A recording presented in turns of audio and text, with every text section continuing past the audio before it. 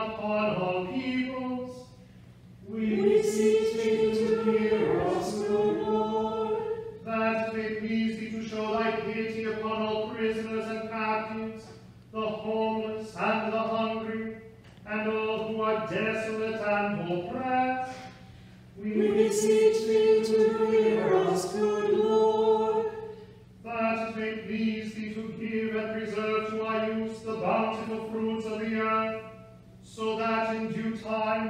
all may enjoy them. We beseech thee to hear us, good Lord. That it may please thee to inspire us in our several callings, to do the work which thou givest us to do with singleness of heart as thy servants, and for the common good. We beseech thee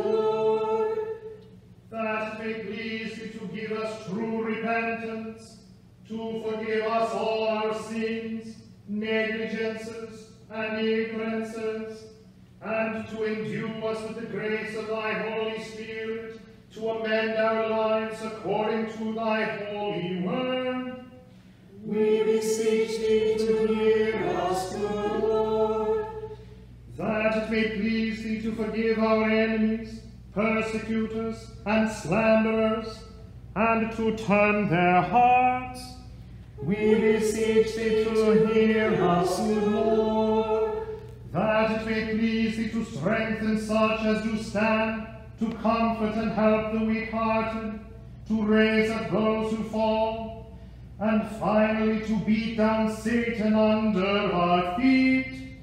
We beseech thee to hear us, good Lord. that it may please thee to grant to all faithful departed eternal life and peace. We beseech thee to hear us, good Lord. That it may please thee to grant that, in the fellowship of the ever blessed Virgin Mary, Saint George, and all the saints, we may attain to the heavenly kingdom. We beseech thee to hear us, good Lord. Son of God, we beseech thee to hear us. Son of God, we beseech thee to hear us. O Lamb of God, that takest away the sins of the world, Have mercy upon us. O Lamb of God, that takest away the sins of the world, Have mercy upon us. O Lamb of God, that takest away the sins of the world, grant us thy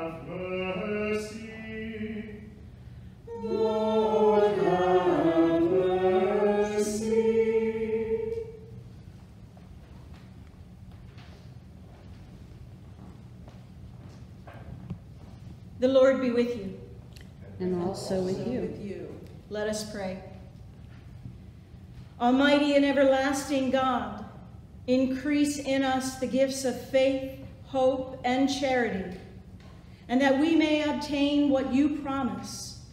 Make us love what you command. Through Jesus Christ our Lord, who lives and reigns with you in the Holy Spirit, one God, forever and ever. Amen.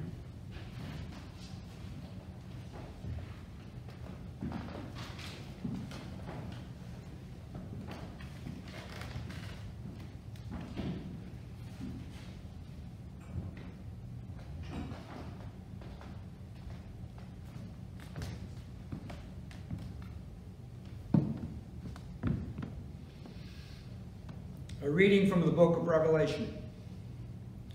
After this I looked, and there was a great multitude that no one could count, from every nation, from all the tribes and peoples and languages, standing before the throne and before the Lamb, robed in white with palm branches in their hands.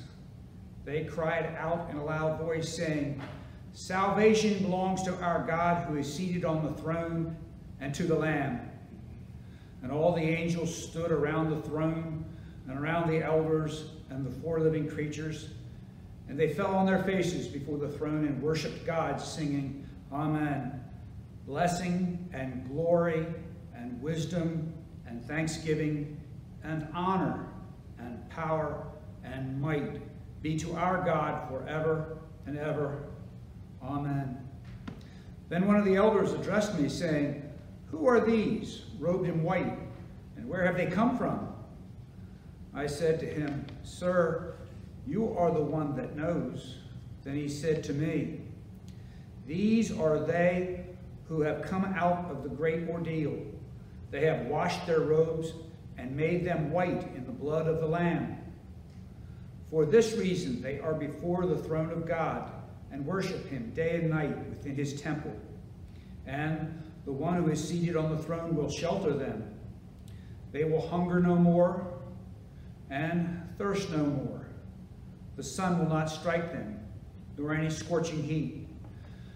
For the Lamb at the center of the throne will be their shepherd, and he will guide them to the springs of the water of life, and God will wipe away every tear from their eyes. The word of the Lord. Thanks be to God. This morning's psalm is Psalm 34. We will say it in unison. I will bless the Lord at all times. His His praise shall ever be in my mouth. I will glory in the Lord. Let the humble hear and rejoice. Proclaim with me the greatness of the Lord. Let us exalt his name together. I sought the Lord, and he answered me, and delivered me out Look upon him and be radiant, and let not your faces be ashamed. I called in my affliction, and the Lord heard me, and saved me from all my troubles. The angel of the Lord encompasses those who fear him, and he will deliver them. Taste and see that the Lord is good. Happy are they who trust in him.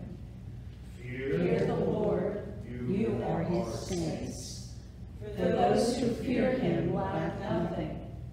The young lions lack and suffer hunger, but those who seek the Lord lack nothing that is good. The Lord ransoms the life of his servants, and none will be punished who trust in him. A reading from 1 John. See what love the Father has given us, that we should be called children of God, and that is what we are. The reason the world does not know us is that it did not know him. Beloved, we are God's children now. What will be has not yet been revealed.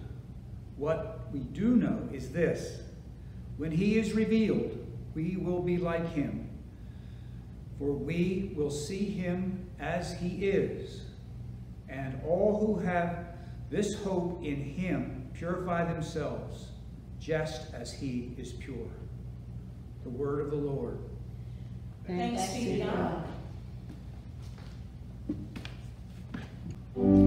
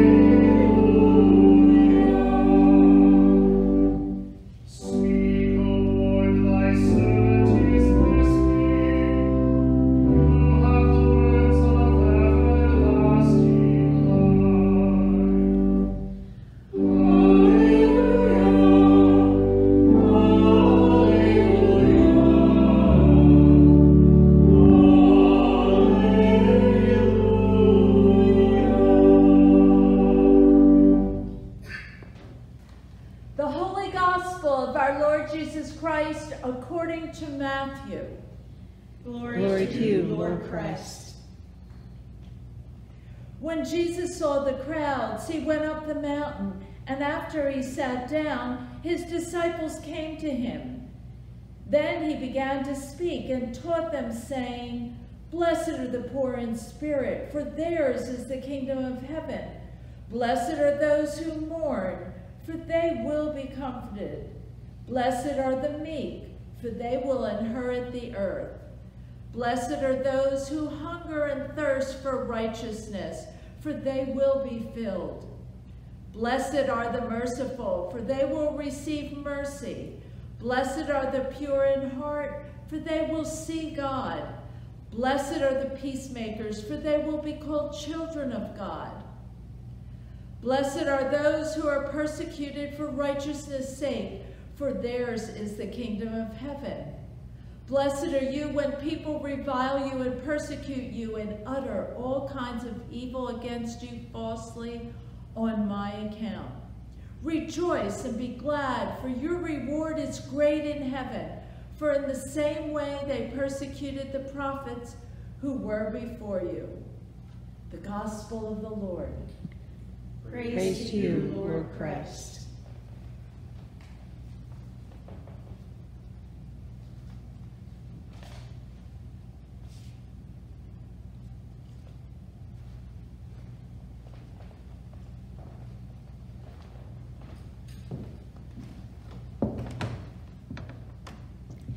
In the name of the Father, and the Son, and the Holy Spirit. Amen. Amen.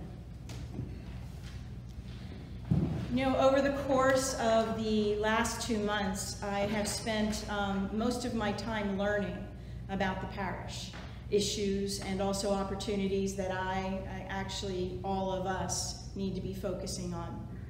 And so, what I have not been able to do is spend any time speaking on some of the issues that we're going through as a community and as a world. Now, I personally do not believe that politics belong in the pulpit. I really don't. But world issues do. And oftentimes, that line between the two don't just cross and they don't just blur. They actually intermix with each other. And they paint a living canvas, sometimes, oftentimes, of fear and rage and bloodshed. And in those times, people can't help but question the point of believing in God. Or at the very last, very least, questioning God's intentions. Whatever your opinion is, or lack thereof, an opinion, is on the COVID crisis, the racial divide, and our, our governmental divides and the divide amongst the people around our entire country. Whatever you think, the truth of the matter is that people are in pain, deep pain, all around. And it isn't just one situation, it certainly is not just one person, it's everything. People are reacting strongly. It's not such a bad thing all the time. We should be entering into what is going on around us. But they're reacting strongly to the multitude of unprecedented situations that are playing out in and around our everyday lives. Now, my personal mantra is, in all situations actually, is to try very hard not to react, catch your breath, take a moment, and respond.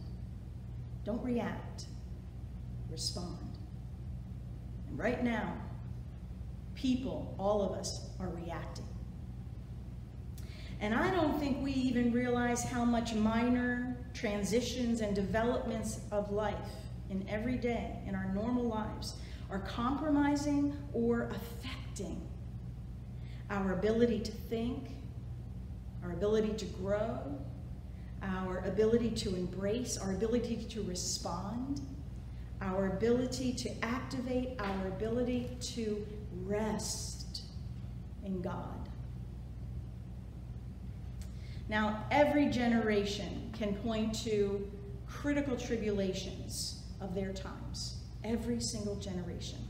Standing here, though, in the middle of this generation, there does seem to be a rapidness, a rapidness to the circumstances of our day. It feels like it, right? It feels like it. Possibly, possibly, it can even be enriched by and sometimes encouraged by present day social media. Leaders in every category are all adding to not only the rapidness, but the anxiety. Now, I'm sure that those who lived through the Industrial Revolution and even those who lived through the times of Jesus Christ can all point to the same thing and feel that things were happening quickly. They were. They always were. But this is our time. This is our day. And it's very real. All of it. It's very real. Now, clergy and those who are most closely associated to the church are not exempt from doubt or questioning or anxiety. We're not. We truly not. Oftentimes, the loudest cries come from those who mediate the holies. As they should, by the way. And just as people in the times of Isaiah put forth these deep, deep, deep laments, begging God, begging God to come out of hiding, we, as a community of Christ, just put forth our own laments in the opening of our service today so beautifully chanted by Jackson, responded by the people who are here in this taping of this service today, and I pray within the own hearts of all of you at whatever time you are participating in this worship. We are here begging God to have mercy on us. We are begging God to hear us, to deliver us from all that is happening around us.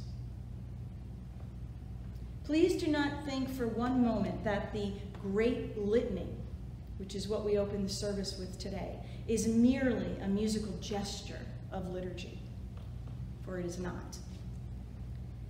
The litany, the crying out to God, to come out of hiding and not only hear us, but respond to us Respond to us.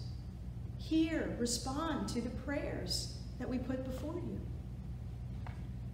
At the conclusion of each one of those petitions, by the way, there is a little bit of a raising up. You probably heard that in Jackson's voice.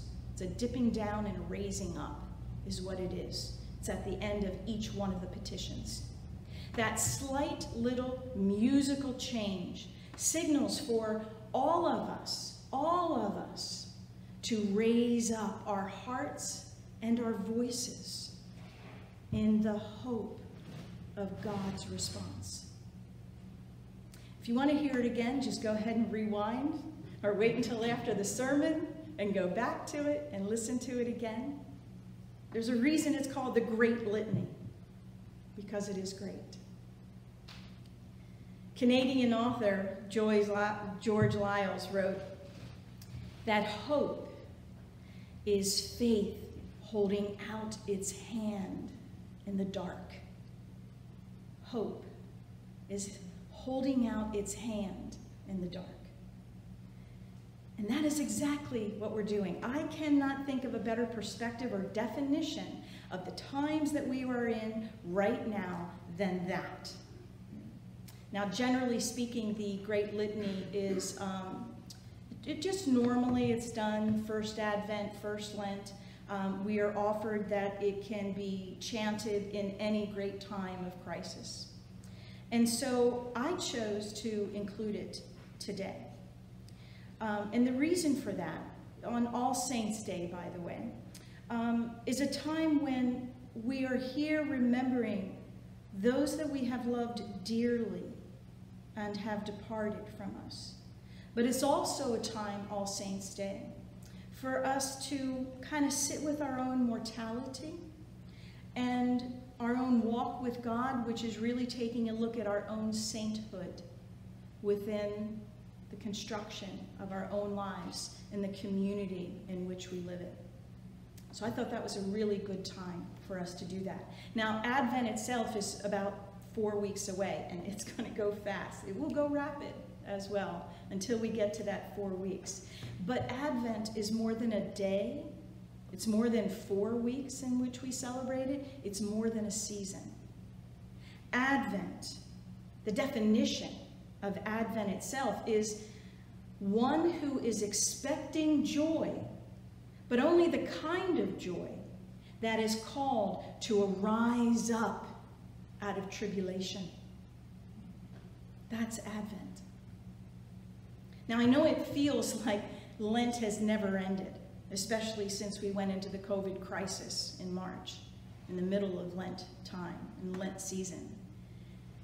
But we really have been living for quite some time now in a season of Advent. And I believe that season is going to go on for a bit longer preacher, teacher, one of my absolute favorite theologians, Walter Brueggemann. His definition of Advent is this. The natural habitat of Advent is a community of hurt. It is the voice of those who know profound grief, yet who articulate it and do not cover over it. That's Advent. I know we normally think of it as Christmas, right? But that's Advent. Now, here is where that situation kind of takes a turn, both for Advent but also for All Saints Sunday in any season that we're in. You always have to look for that turn, right? Here's what Walter Brueggemann continues to say. But this community of hurt knows where to speak its grief, toward whom to address their pain. That's what it is. Because the hurt expressed to the one, to the other, big O, by the way, the one, the other, in how we express that pain, and in whose place in this world is not in doubt. This community of hurt is profoundly a community of hope. It hopes passionately that trouble will end. Passionately. So living Advent, living into our own sainthood, moves between the two realities of hurt and hope. It lives into the context that one cannot live without the other. And it's important to understand that. This is a time to make contact with those deep places in our culture and in ourselves. It's too much to continue to ignore or displace or point as if it's somewhere else. Advent asserts that our current world definition of power and security is on the way out. And I am not talking about the election. I am speaking directly to and about those things in our own lives in which we give power to, in which we tell ourselves and believe we have security in. Living into Advent and sainthood puts the hard questions front and center, and it meets us precisely where our hurt and our hope converge. It asks us if we are bold and sharp enough to speak that hurt that belongs to us, to me, to you personally. It asks us if we are ready and open enough for newness to be given to us. And it asks us if we know who we belong to. It asks us if we know to whom do we confess. It asks us if we know to whom do we wait. Whom do we trust? That one, that one, that other is enough to relinquish all our other ways. The shock of the times that we are in is not just about destruction. The real challenge in all of this is liberation. Advent, sainthood, it all means the shattering of restrictive forms. It means the shattering of the shape of oppression. It means the shattering of the paralysis that keeps us from living half of what we are called to be in Jesus Christ. This shattering is both welcome and dreaded. It's avoided, which is what we're, a lot of us are doing right now. It's avoided, but it's so necessary. It's painful, and yet it truly does bring relief. I'm going to ask all of you as we go through and continue this day, this time that we're in, as we're heading into whatever comes tomorrow. I'm asking each and every one of us, including myself, by the way, to keep check of which emotion is most difficult and most fulfilling for you. If you find yourself shaking your head, affected by, or lamenting over our current day circumstances, then be real about it. Be real about it. Be honest about it. Don't just gaze out point out and wonder how prejudice, oppression, and illness can be a part of this world? Gaze within and ask yourself honestly, why, how can prejudice, hatred, oppression be a part of me? be a part of you. Only through our own reflection and action can and will this world be changed. Because in doing those things, in entering into those things, we are allowing God to work in us and through us and be us. Let us pray. My dear Lord God, we thank you so very much for the invitation to always come before you. We recognize that prayers are not always answered in the way that we wish or expect or understand that they might be. Allow us to understand, though, in the midst of the process and the communication of prayer, that you are with us in each and every moment of the day. Amen.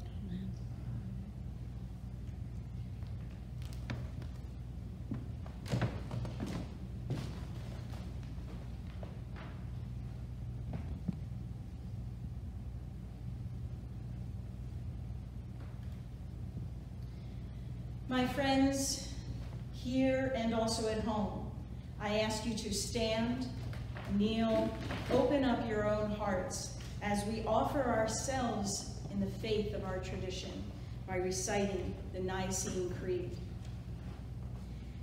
We believe in one God, the Father, the Almighty, maker of heaven and earth, of all that is seen and unseen. We believe in one Lord, Jesus Christ, the only Son of God, eternally begotten of the Father, God from God, light from light, true God from true God, begotten, not made, of one being with the Father. Through him all things were made. For us and for our salvation, he came down from heaven. By the power of the Holy Spirit, he became incarnate from the Virgin Mary and was made man. For our sake he was crucified under Pontius Pilate. He suffered death and was buried. On the third day he rose again, in accordance with the Scriptures.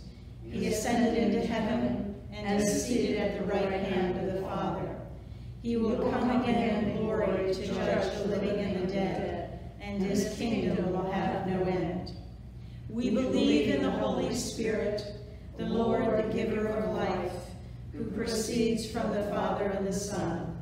With the Father and the Son he is worshipped and glorified.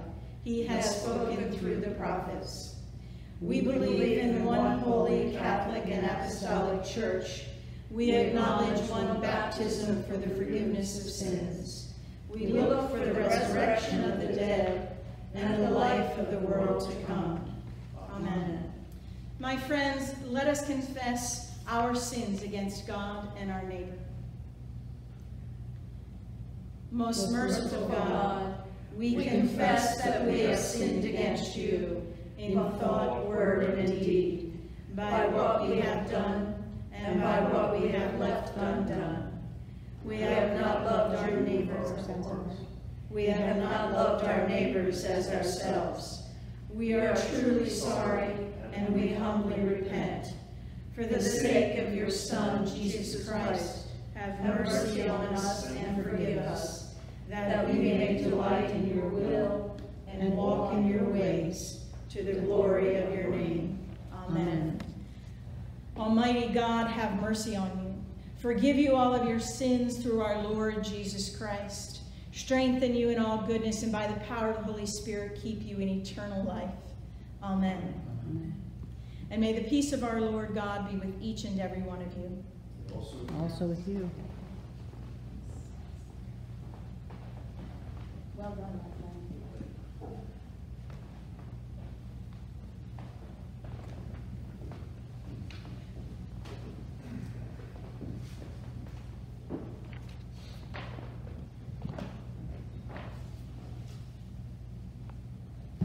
うん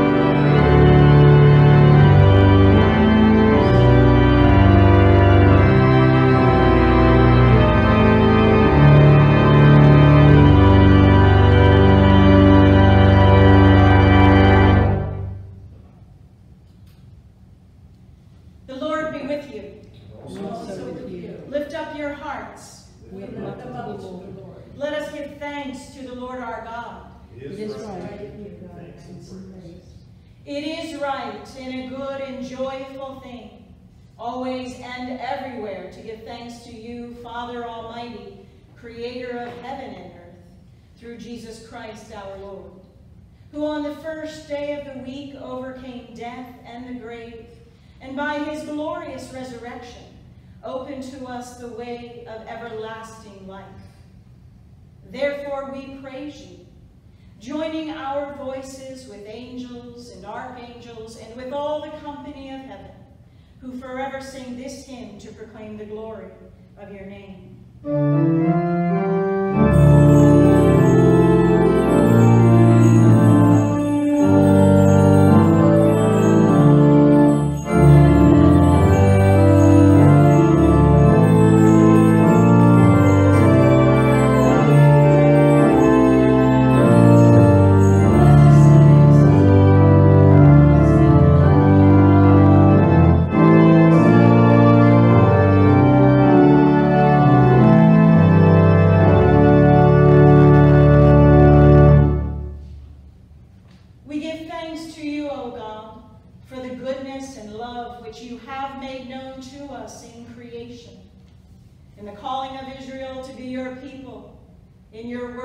Spoken through the prophets, and above all, in the word made flesh, Jesus, your Son.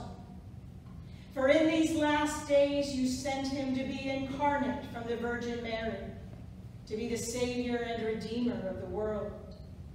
In him you have delivered us from evil and made us worthy to stand before you. In him you have brought us out of error into truth, out of sin into righteousness, out of death into life. On the night before he died for us, our Lord Jesus Christ took bread.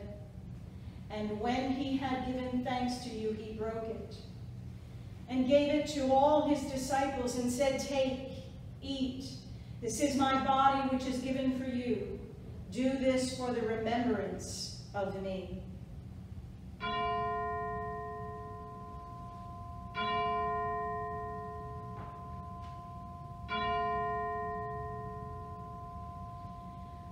Supper, he took the cup of wine.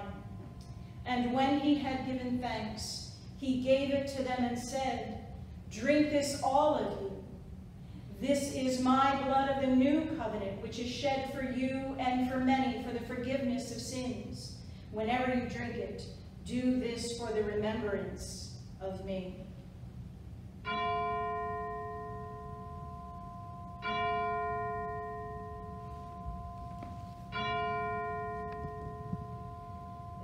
Therefore, according to his command, O Father, we remember his death, we proclaim his resurrection, we await his coming in glory. And we offer our sacrifice of praise and thanksgiving to you, O Lord of all, presenting to you from your own creation this bread and this wine. We pray you, gracious God, to send your Holy Spirit down upon these gifts, that they may be the sacrament of the body of Christ and his blood of the new covenant. Unite us to your Son in his sacrifice, that we may be acceptable through him, being sanctified by the Holy Spirit. And in the fullness of time, put all things in subjection under your Christ, and bring us to that heavenly country, where with the ever-blessed Virgin Mary, all our brothers and sisters who have died of COVID, and all of your saints, that we may enter the everlasting heritage of your sons and daughters. Through Jesus Christ our Lord, the firstborn of all creation, the head of the church, and the author of our salvation. By him, and with him, and in him, in the unity of the Holy Spirit, all honor and glory is yours, Almighty Father, now and forever. Amen. And now, my friends, as Jesus taught us, we are bold to say, Our Father, who art in heaven, hallowed be thy name. Thy kingdom come, thy will be done, on earth as it is in heaven. Give us this day our daily bread, and forgive us our trespasses, as we forgive those who trespass against us. And lead us not into temptation, but deliver us from evil. For thine is the kingdom, and the power, and the glory, forever and ever. Amen. Hallelujah. Christ our Passover is sacrificed for us. Therefore, let us keep the feast. Hallelujah.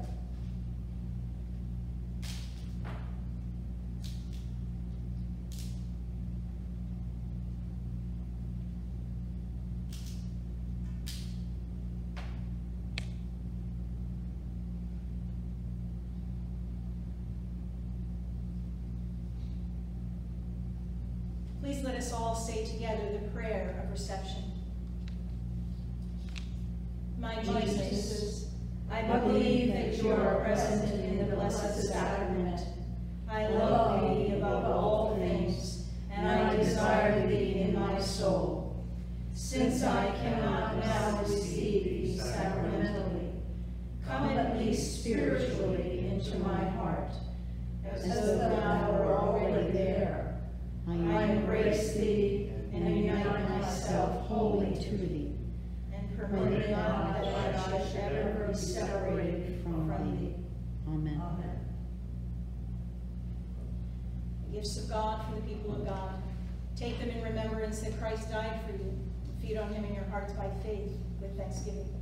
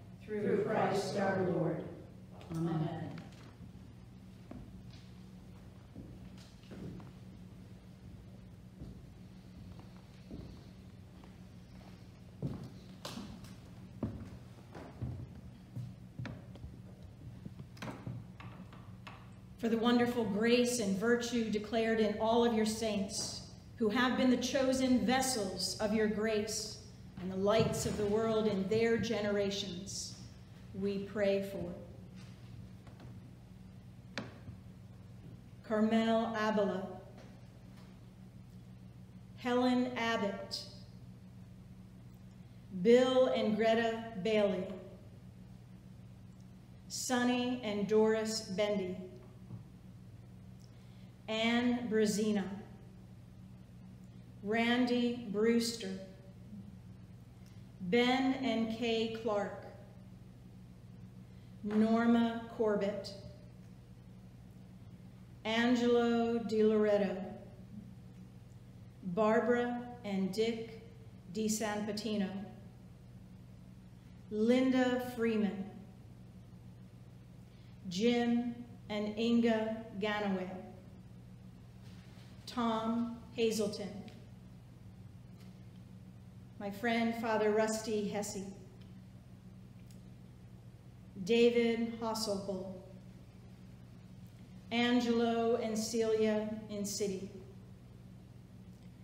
Peter Issel Jr., Albert and Derek Jensen, Harrian and Dorothy Jones, Tom King, Robert and Elizabeth King, Pat Klein, Charles D. Long, Jr., Al Medeska,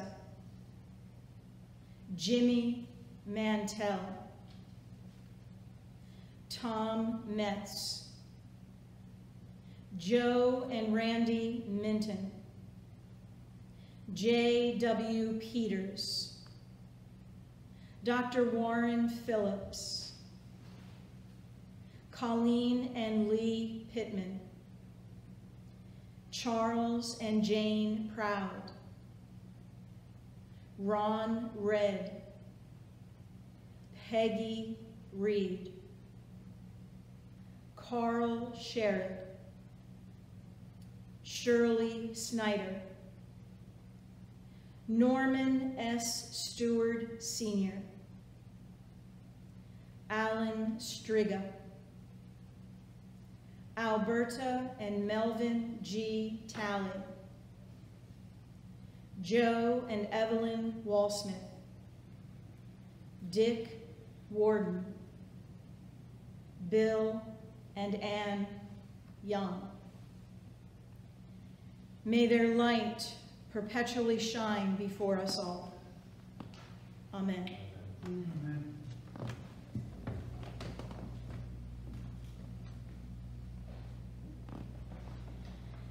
My friends, thank you for sharing this beautiful service with us. I hope it touched your heart in a way as well.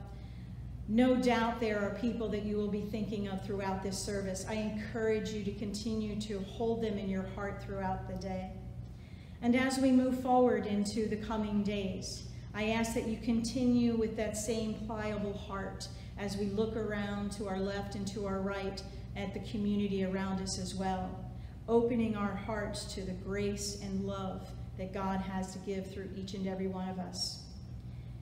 Just by happenstance this week, uh, we are beginning a class in the flowing grace of God. And I ask if you have not signed up already, it's never too late to join us. Each and every week, we will be looking for those times and days when grace enters into our lives, most often unawares. The blessing of God, the Father, Jesus Christ, the incarnate Son, and the Holy Spirit be with you all. Go in peace, my friends, to love and serve the Lord. Thanks be to God.